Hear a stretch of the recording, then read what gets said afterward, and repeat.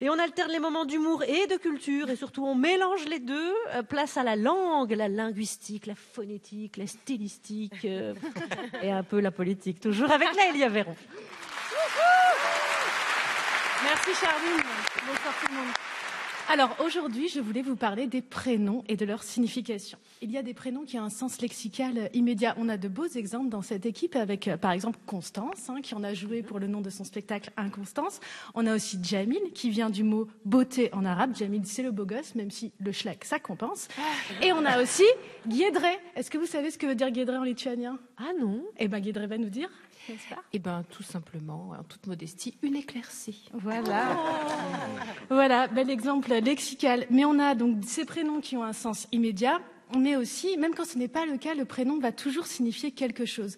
Par exemple, si vous lisez sur un CV le prénom Aliénor et puis sur un autre CV Kimberley, ne me dites pas que vous projetez la même image. Vous avez sans doute imaginé des personnes de classes sociales différentes. Un Emmerich qui parle de prénoms de pauvres dans ses chroniques, ça s'appelle de la sociologie spontanée, ça.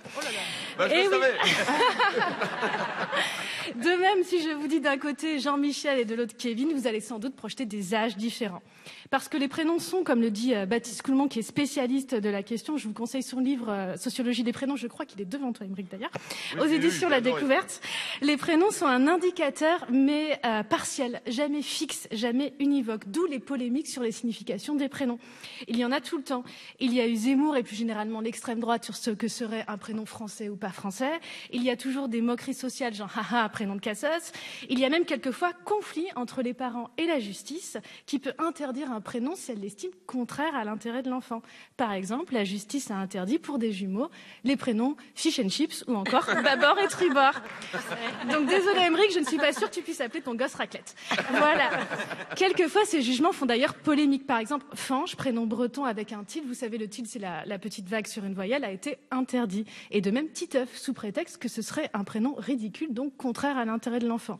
Mais est-ce que c'est vraiment ridicule ou est-ce que c'est juste une question de goût situé socialement et pourquoi Titeuf serait plus ridicule qu'Adelbert, par exemple? Bref, cette ambiguïté entre contrôle de l'État et liberté des parents, c'est révélateur d'une évolution générale. Parce que pour résumer grossièrement, pendant longtemps, on a choisi le prénom, comme dit Coulmont, comme manifestation d'une intégration dans une communauté, qu'elle soit religieuse, régionale, familiale, politique. Et maintenant, on voit de plus en plus le prénom, au contraire, comme un marqueur d'individualité et de goût. Et ce déplacement de la communauté à l'individualité, ça se voit quand vous comparez le premier prénom par rapport au deuxième ou au troisième. Faites-le. Souvent, le premier prénom est choisi parce qu'on l'a trouvé joli, et le deuxième, et le troisième, ce sont les prénoms des grands-parents, des parrains, des marraines. On rend hommage à la lignée. Donc finalement, ce qui est paradoxal avec le prénom, c'est qu'il est censé dire quelque chose d'intime. Il est censé représenter votre identité toute votre vie, alors que c'est quelqu'un d'autre qui l'a choisi. D'où des stratégies pour reprendre le contrôle sur son prénom.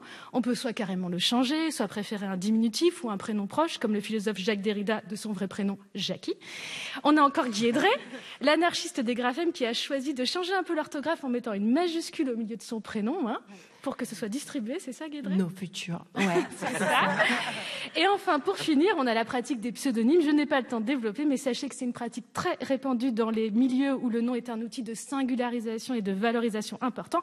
Par exemple, chez les prostituées, les traders, les mafieux, les artistes, y compris les humoristes. Ah, la Elia Véron, merci. Bah, ce sera l'objet d'une prochaine chronique alors, tout simplement. Pourquoi pas?